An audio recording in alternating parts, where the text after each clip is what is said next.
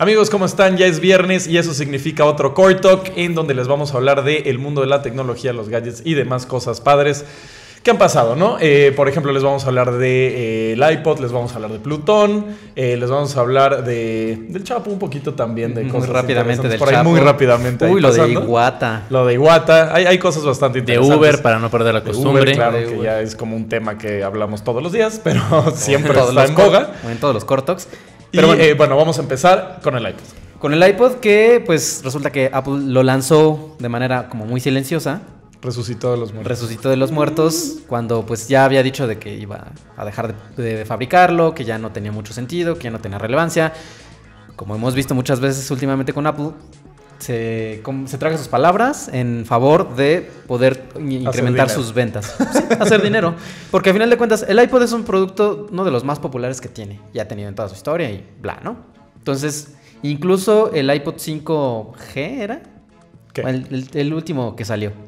Ah, sí, ese. Sí. Pero que Se es- me olvida. El último iPod, el que salió Ah, ya, ya, el- ya. hace La año sí y es la quinta medio. generación. Exacto.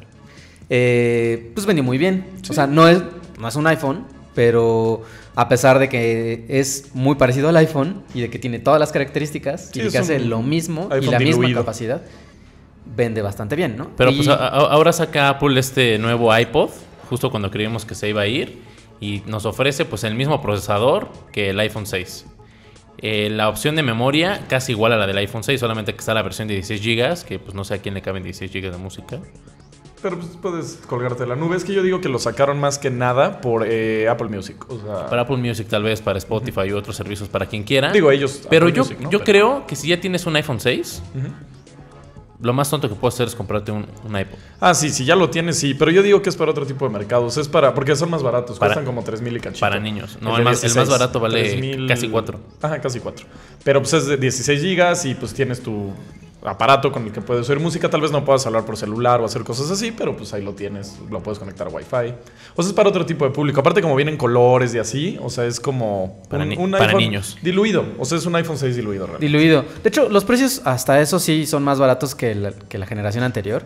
Y eso pues es como un avance porque esa es la ventaja. O sea, si tú quieres iOS, barato, pues ya, y, y para llevar en el bolsillo, porque pues un iPad mini sí te lo puedes echar en la bolsa de la chamarra, pero no del pantalón. Entonces ya tienes acceso a iOS y a todas las aplicaciones. Ahí está.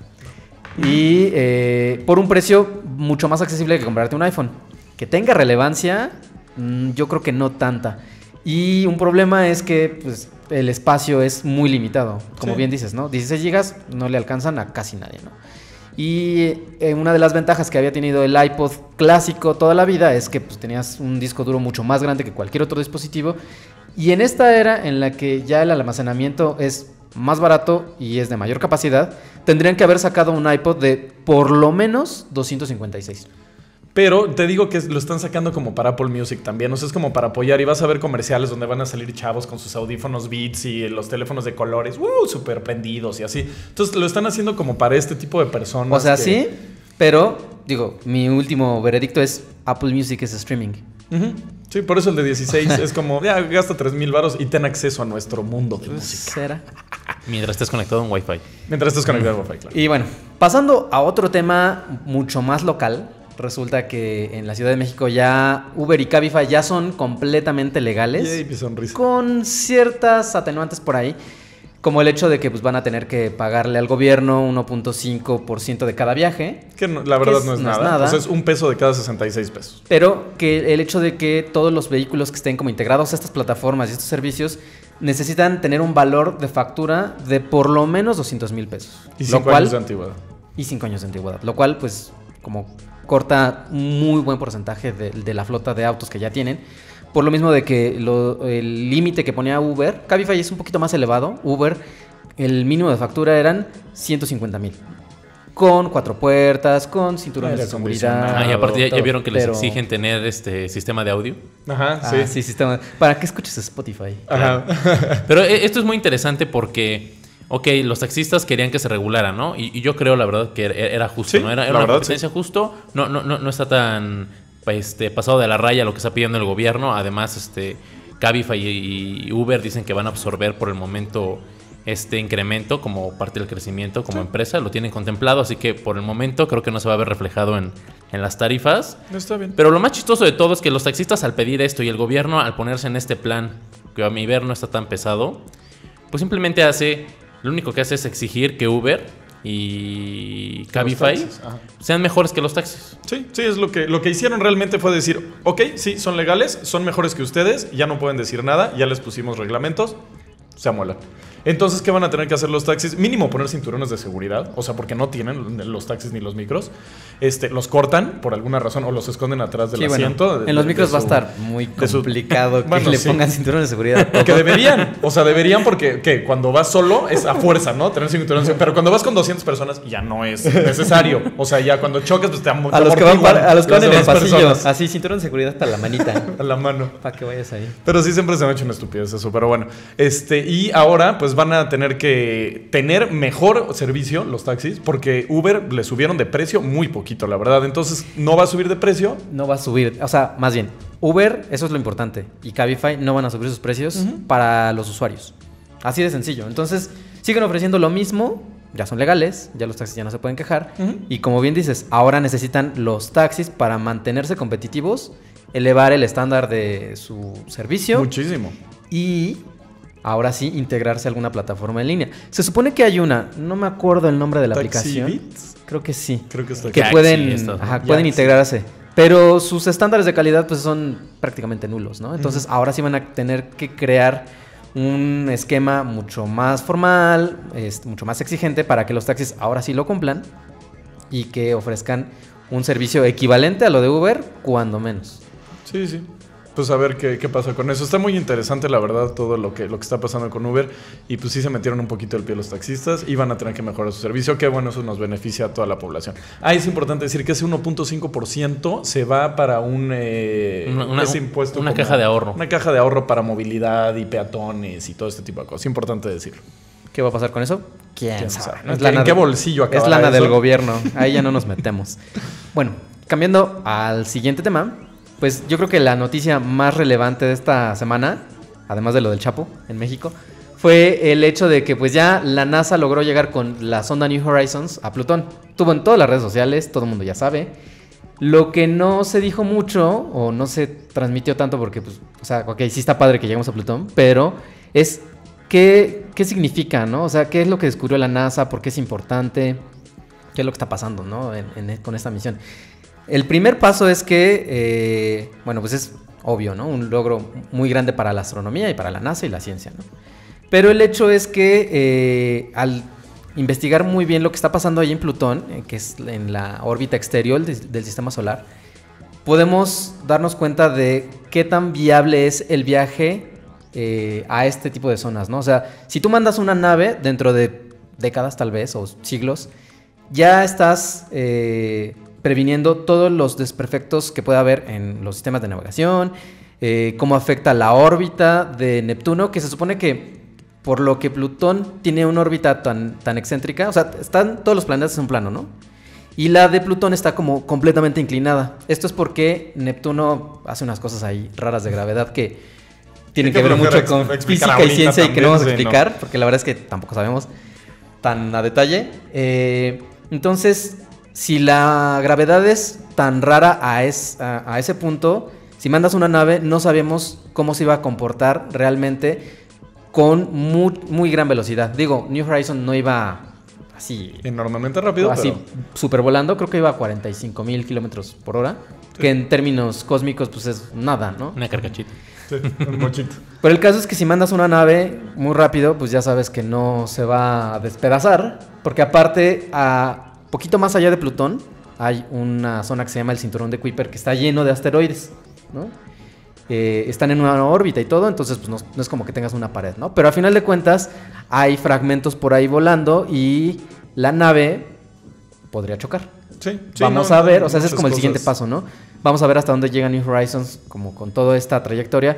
Si se deshace, ya valió. ¿no? Se, se espera que en 2019 llegue un asteroide de hielo chiquito, ¿no? O sea, es lo que su siguiente paso es lo que, lo que parece que va a pasar. Y algo que a mí me gusta mucho de, de New Horizons es que es powered by eh, PlayStation 1. O sea, tiene el chip del PlayStation 1. Eso está bien chistoso. Entonces, ese chip que te hizo jugar eh, Gran Turismo cuando eras chavito está dando la vuelta en el universo. Eso está muy padre. Tú vas a decir algo. Sí, sí, sí. Yo soy. eh, yo, yo no soy muy. emo- Bueno, sí estoy emocionado. Es padre ver ahí a una a un satélite. No estoy a favor de que No hayan llegado a Plutón. yo creo que no es un planeta. Yo, yo estoy a favor de Ok. Neil deGrasse, de que no es un planeta. Mi, mi postura es, el planeta más cercano a Plutón es, este, es Neptuno. Neptuno es el segundo planeta con más satélites en el sistema solar, tiene 13. Es muy fácil, yo digo, Cuéntame más. yo digo que es muy fácil que uno de los satélites de Neptuno se despegara un poco precisamente por esta gravedad tan extraña que genera Un Neptuno muchísimo. y pues, se deshizo de uno de sus satélites y quedó dando vueltas y le pusimos Plutón. Podría ser, pero es que también cumple con ciertos parámetros del planeta. O sea, Sí. sí, es redondo, sí eh, limpió un poquito lo que hay alrededor de él. O sea, sí podría considerarse como un planeta. Pero, pues también está el cinturón eh, de Kuiper. ¿O Kuiper? ¿Cómo se llama exactamente? Kuiper. Kuiper. Este, el cinturón. Y pues hay muchas cosas eh, ahí que cumplen más o menos los mismos requisitos. Entonces, sí es como que sí cumple algunos y no cumple otros. Es difícil. Yo solo voy a decir, es esférico, flota en su órbita alrededor del Sí, Sol. Le da la vuelta alrededor del sol. Luna, si era luna o no, no me importa. Flota solito Sí. y tiene sus propias lunas. Sí, se- cumple con muchos requisitos. Solo le falta ese de haber como limpiado Bueno, todo so- lo que Que la ciencia llegue a otras conclusiones, pues igual. Que ya pero, le- pero se la pasan discutiéndolo. Entonces, yo creo que mientras no tiene caso mejor pelearse tanto porque si es un planeta. Entonces Bueno, vamos al siguiente tema. Vamos al siguiente. te- Uh, ahí sí. Lo de Iguata. Uy. Híjole, mi guata. Pues sí, se nos ¿Te- fue. te vas a poner emo?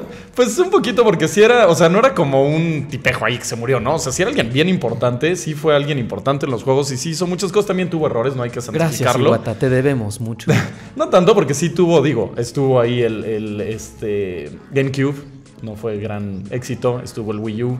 O sea, tampoco es un genio de la mercado, o sea, no. Tiene sus cosas que no están bien, pero era un muy buen manager. O sea, sí tenía ideas, sí era un gamer de corazón. No, sí, eso y sí. tenía el gamer en, en la mira, o sea, era lo que más le importaba. Entonces, eso sí se va a extrañar porque es raro tener a un CEO, digamos, que le interesa tanto porque él fue gamer, fue programador y estuvo involucrado más o menos en el desarrollo de unos 273 juegos. Entonces, sí es alguien que era de muchísimo peso para Nintendo. Sí tiene su relevancia.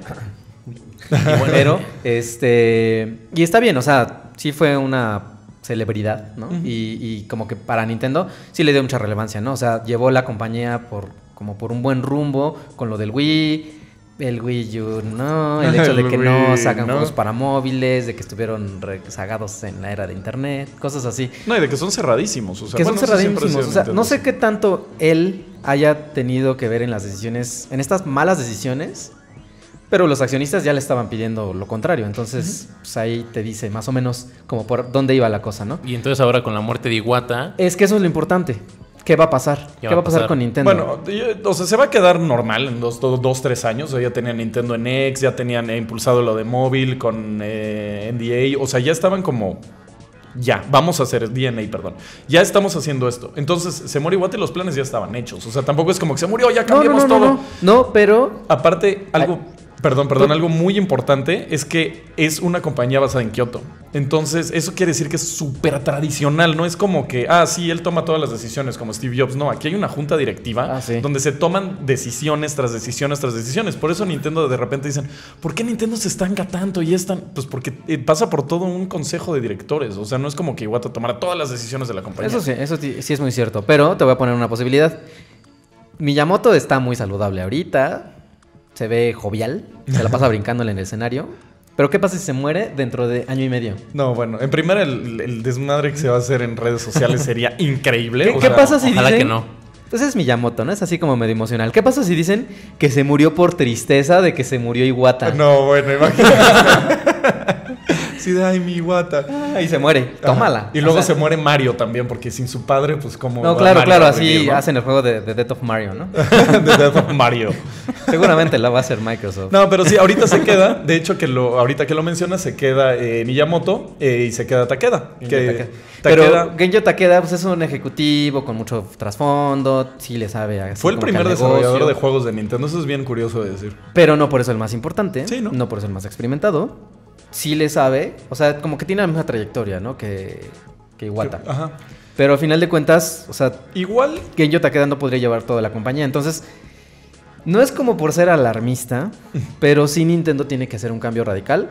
Sí, bueno, para eso lo sabemos todos. Ya, lo, sea, ya, lo, ya estaba dicho, ahora más. Digo, porque van atrasadillos así de decir, ahora vamos a hacer nuestra tablet, porque lo de hoy son las tablets, y hace el Wii U, y pues la verdad llegaron como tres años tarde al mercado, ya se lo había comido todo. O sea, sí van medio tardecito y sí le urge hacer un cambio. Y tal vez esto Miyamoto con Takeda hacen como un... y hacen un, este, un nuevo Iwata. Uno nunca sabe. Porque tienen como eh, cosas uno del otro. Entonces... O no, pero bueno. Eh, esta semana otra cosa que pasó muy local es que se celebró en la Ciudad de México el evento Wikimania 2015, que es un evento en el- obviamente organizado por Wikimedia para celebrar todas las bondades que da Wikipedia. Platícame más, Daniel. Y eh, pues vino Jimmy Wells, ¿no? Que es el, el director general de, de Wikimedia Foundation y estuvieron hablando de, como la relevancia de Wikipedia en el mundo, el tema de seguridad, muchas cosas, pero lo que más llamó la atención de la conferencia es que Jimmy Wells ya dijo, ahora sí, ¿no? Sin, sin pelos en la boca, en la lengua, que... eh, la boca sí tenía. Ajá, que la misión de Wikipedia no es ser instrumento para la investigación científica, ni universitaria, ni de prepa. Dice que es un punto de partida, que cualquiera que cite Wikipedia como una fuente en cualquier tipo de investigación o documento formal y oficial, está mal. Boom.